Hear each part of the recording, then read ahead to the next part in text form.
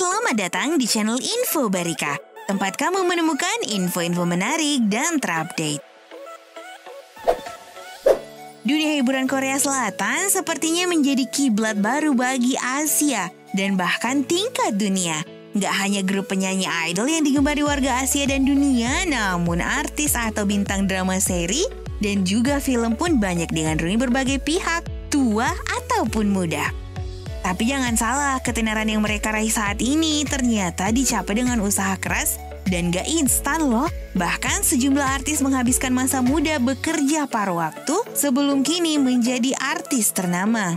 Gak jarang penghasilan dari kerja paruh waktu itu juga disisihkan untuk membiayai pendidikan mereka hingga jenjang universitas. Berikut 6 artis Korea yang pernah bekerja paruh waktu sebelum menjadi terkenal seperti saat ini. Tapi sebelum lanjut, jangan lupa like, subscribe, aktifkan lonceng notifikasimu biar nggak ketinggalan update terbaru dari kami. Udah? Sip! Langsung aja kita bahas.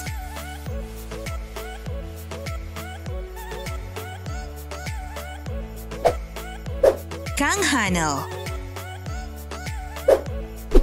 Kang Hanel udah membintangi sejumlah judul drama populer Korea seperti The Hairs dan When the Camellia Blooms Sebelum terkenal seperti sekarang ini, artis Korea ini bekerja part-time untuk mewujudkan impiannya loh. Kang Hanel pindah dari Busan ke Seoul sendirian untuk mengejar impiannya menjadi seorang aktor. Berasal dari keluarga miskin, keluarganya nggak mampu membiayai iuran masuk sekolah seni. Kang Hanel bekerja paruh waktu di minimarket, pompa bensin, peternakan bebek, restoran buffet, dan membagikan brosur di jalanan. Bahkan selama kuliah, ia masih bekerja part-time untuk menafkahi dirinya sendiri. Dudu dudu banyak banget ya kerja part-time-nya.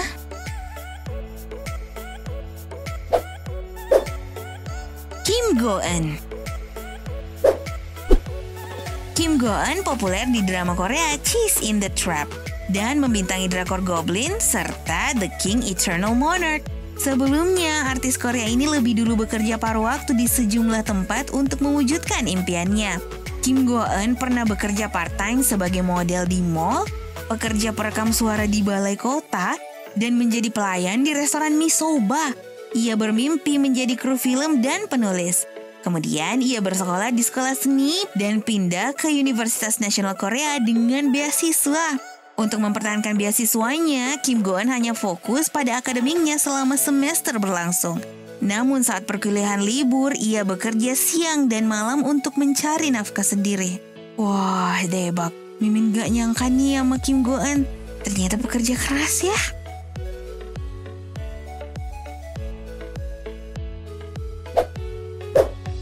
Ryu Junior Artis Korea Ryu Junil yang populer di drama Korea Reply 1988 sebelumnya bekerja paruh waktu. Ia pernah menjadi pelayan di restoran barbecue, pelayan catering, kurir paket, membagikan brosur, menyiapkan acara kursi untuk acara, dan membuka kotak kayu di pasar. Ryu Junyo bahkan pernah menjual merchandise di konser grup K-pop SHINee. Ia menjadi mahasiswa jurusan film di Universitas Won dengan beasiswa. Selama semester berlangsung, Ryu Junior belajar untuk mempertahankan beasiswanya dan bekerja part-time selama libur perkuliahan. Ia menerapkan etos kerja yang sama saat berakting dan berpikir, aku akan ikut audisi seribu kali. Mari kita lihat apakah aku akan berhasil. Iya, udah berhasil kok.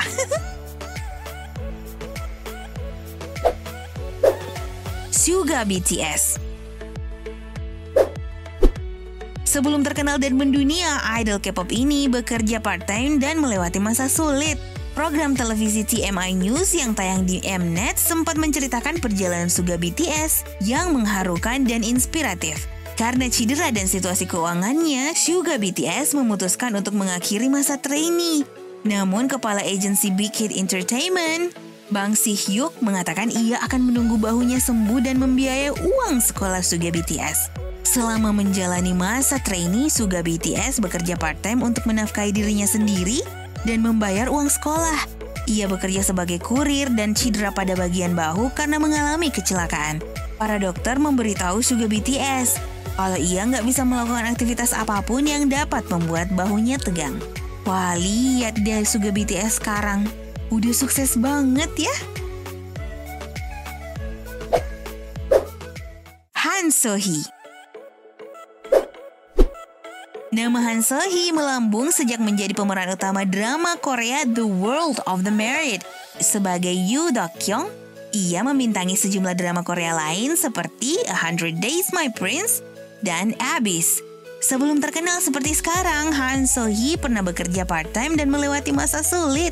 Ia pindah ke Seoul di usia 20 tahun untuk mengejar impiannya sebagai aktris.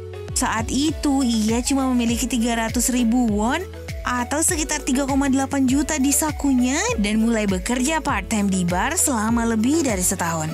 Nama Han So-hee secara perlahan mulai dikenal netizen Korea. Pada 2016, ia memintangi video klip grup SHINee Tell Me What To Do. Dan karir modelingnya dimulai dalam sejumlah iklan termasuk lensa kontak, produk kosmetik, mobile game, dan biscuit treats. Wah, nggak nyangka ya, ternyata artis-artis Korea sukses ini merupakan pekerja keras banget ya. Pantes aja mereka bisa sukses kayak sekarang. Yuk, kita sama-sama kerja keras juga biar bisa sukses kayak mereka. Oke, sekian dulu video kami kali ini. Jangan lupa like, subscribe, dan aktifkan lonceng notifikasimu agar kamu nggak ketinggalan updatean video terbaru dari kami. Oke, sampai jumpa di video berikutnya. Salam hangat dari kami. Annyeong!